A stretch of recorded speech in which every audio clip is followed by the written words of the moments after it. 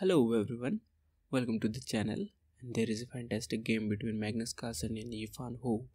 In round 7 of 18th Tata Steel Chess Championship 2018, Magnus Carlsen is white here and Yifan Hou is black here.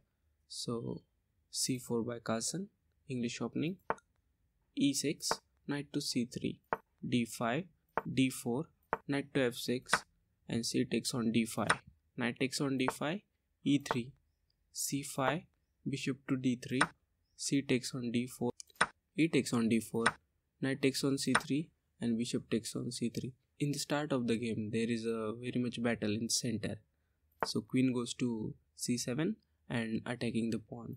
So bishop goes to d2 protecting the pawn knight to d7 and queen to g4 want to harass this g7 pawn and not allowing to move the bishop from there and restricting the castling.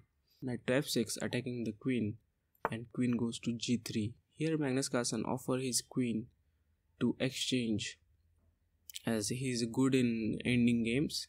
Who takes the queen and here is the queen exchange done with h takes on g3 bishop to d6 knight to f3 b6 a4 uh, since there is only pawn on a file so Carlsen is pushing the pawn. Bishop to b7 a5 king to e7 king to e2 knight to e4 bishop to e1 uh, Carlsen don't want to lose his bishop pair.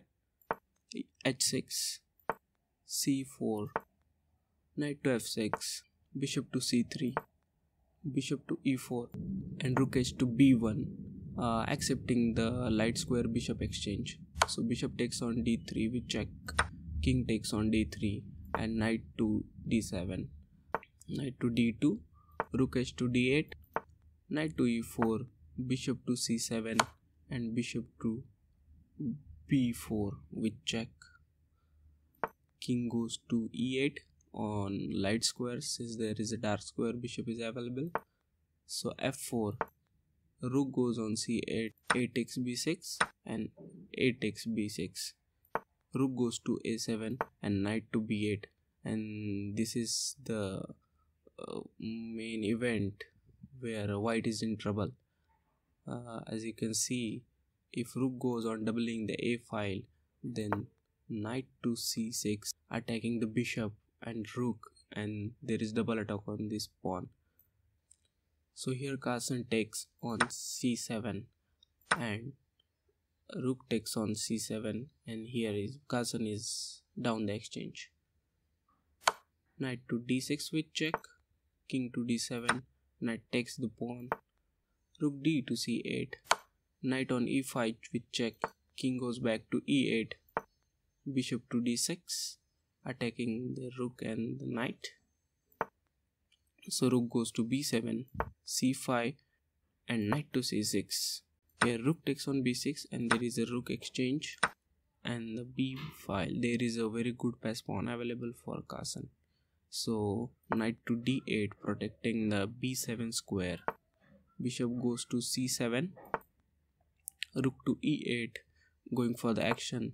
King to c4 knight to b7 king to b5 rook to a2 and g4 allowing Hou to take the pawn.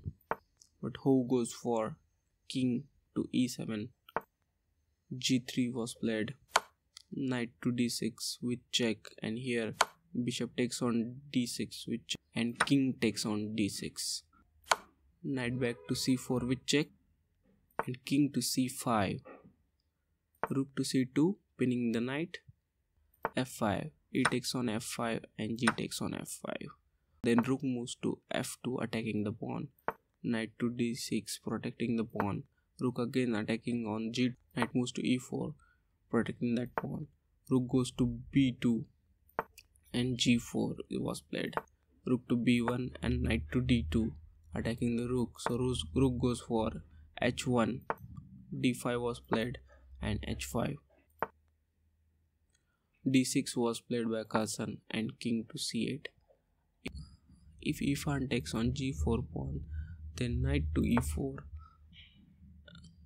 rook to h6 and b7 and this pawn is very difficult to stop there. So king to c8 g takes on h5 rook takes on h5 and king to c6 king to b8 knight to e4 was played rook to f5 and knight to c5 there is no good move for the black. Uh, if he go goes for rook to f6 spinning the pawn then knight to d7 with check and taking the rook. If not if rook goes to f7 then knight to d7 check king has to move to a8 or c8 if it moves to a8 then b7 check king has to move to a7 b8 check. And king has only move here that is king to a6 and queen to b6 or queen to a8 is checkmate here. If not if king goes to c8 then again b7 check. King has only one square that is king to d8 and b8 promoting with queen and checkmate.